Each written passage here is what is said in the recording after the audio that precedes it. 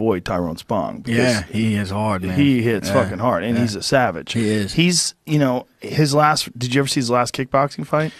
He broke his leg. broke his leg, yeah, yeah. against um, uh, Turkish Tyson. right. Gus, go, uh, what's his name?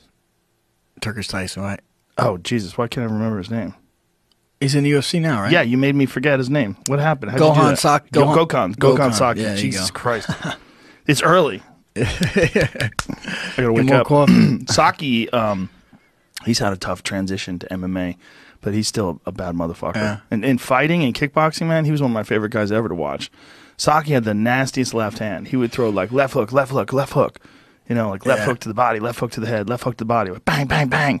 You know, like fast as fuck for and for a heavyweight, ridiculous hand speed. Yeah, I mean, I feel like all these athletes are just getting better and better as it goes, right?